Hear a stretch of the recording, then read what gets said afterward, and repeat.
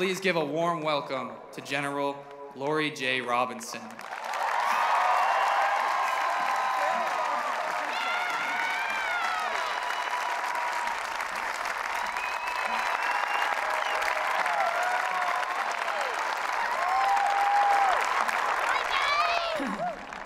Good morning, and I can't even begin to tell you. I'm gonna get really emotional here.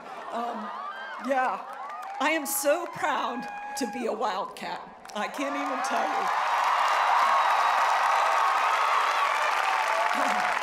Just to stand here, I've been thinking about my graduation day. I don't think it was as pretty as this, but um, you know, remembering all of that and listening to you all, I am so proud to be here. I'm proud to be a Wildcat, but more importantly, I'm proud of each and every one of you. What you've accomplished is nothing less than phenomenal, so congratulations. So, good morning, President Huddleston. Thank you so much for the privilege to speak today. Um, you have no idea uh, how much I've thought about today and, and um, what this day would turn out like. It's better than I ever expected. Jonathan, thank you for that warm introduction. You've captured a lot of amazing things in a very short time, and I appreciate that.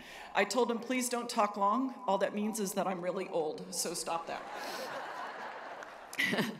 UNH alumni, Wildcat, friends, and family, it is an unbelievable honor to be here with you.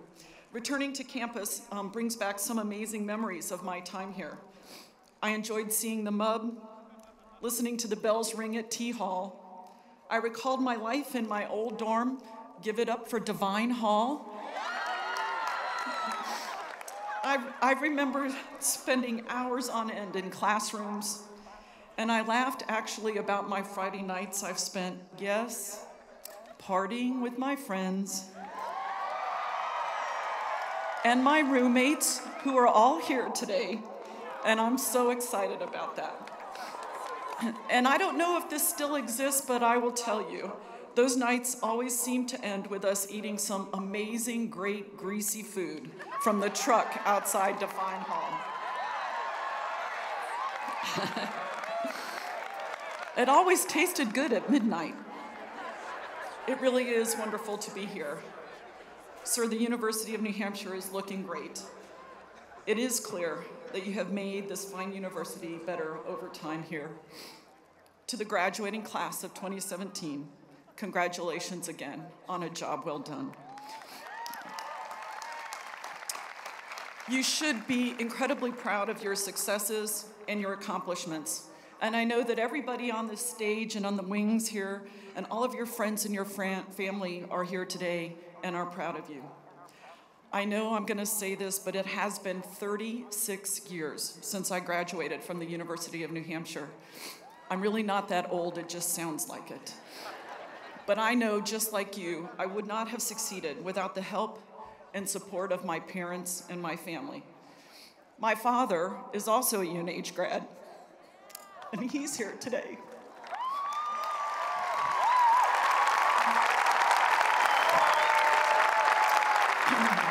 And Dad, I love you and, and thank you for your support.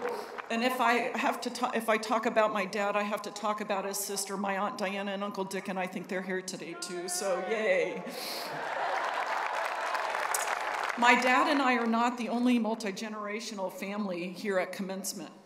I'd like to welcome one particularly special family in attendance. Grandma Jean Doe is 91 years old and from the class of 1947.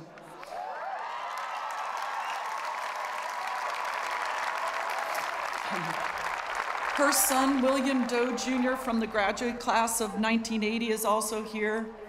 His niece, Megan, graduated from UNH a couple of years ago, and Matt is graduating today. How awesome is that?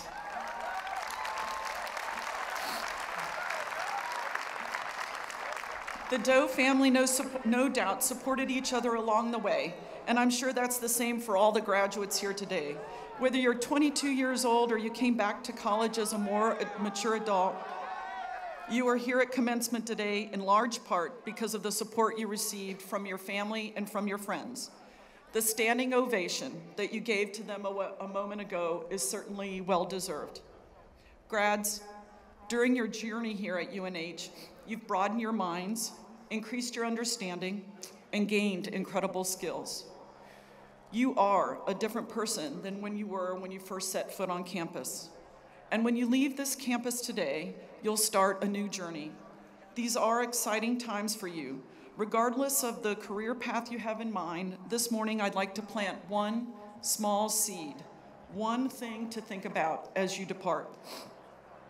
I ask you to consider how you can, how we all can use the skills and knowledge gained here at the University of New Hampshire to serve something bigger than ourselves, something that you've been doing and something you can continue to do.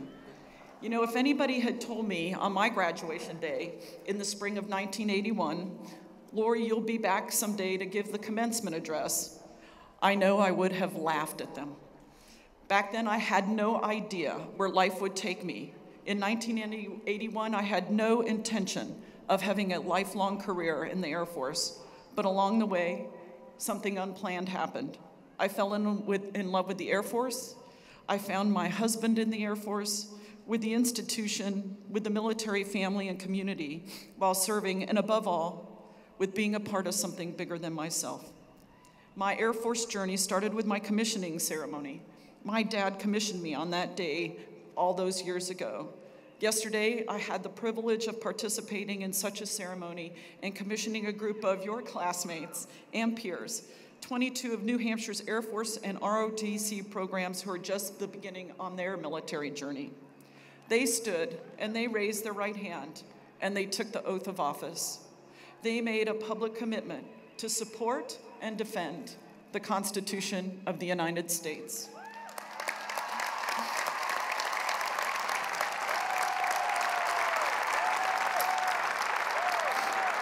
I am incredibly proud of these new, new officers, but I didn't come here to recruit you into the military.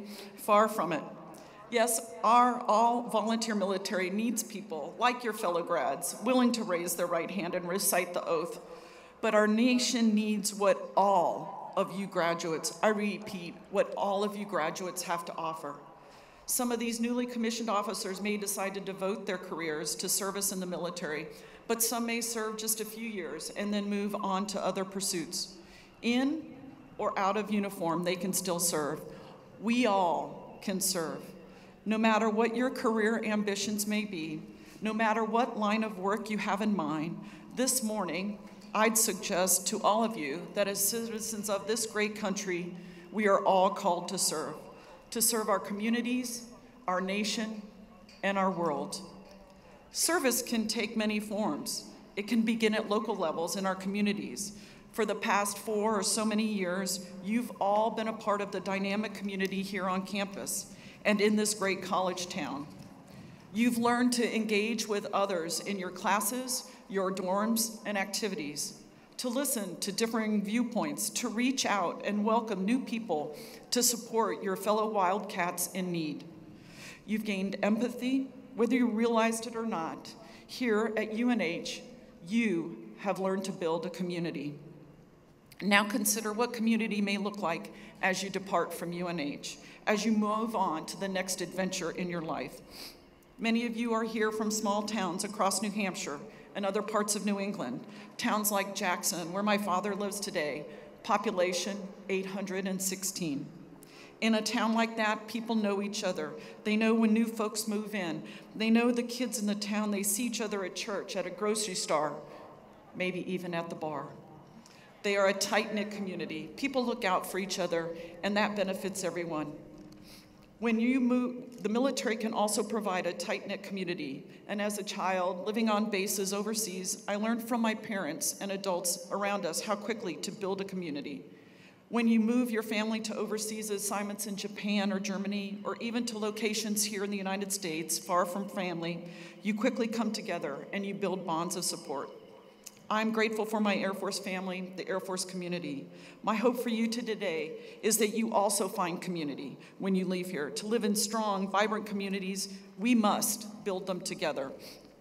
I echo what President Huddleston said a moment ago. Our communities need the incredible skills that you have to offer.